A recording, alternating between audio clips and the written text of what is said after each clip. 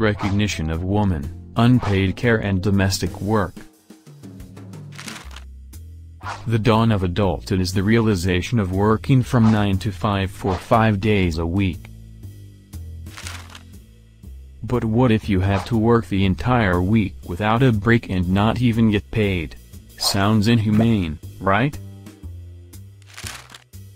Such is the case in developing countries where liberty is not given to women, who have to work unpaid for relentless hours in their households without having the free will to say no.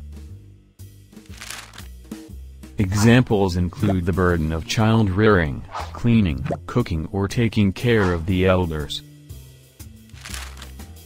But these duties only done by women are written in marriage vows or the Constitution? No. All these duties are mere social constructions assumed via culture or religion that are imposed on women. Spreading awareness of shared responsibility by dividing domestic tasks would provide women with more time to work professionally. This would not only help household financially but would also make her independent. Change will come from within your own home by helping your wife, sister or mother by sharing responsibility with her. This would not only make your home happier but also help the economy prosper.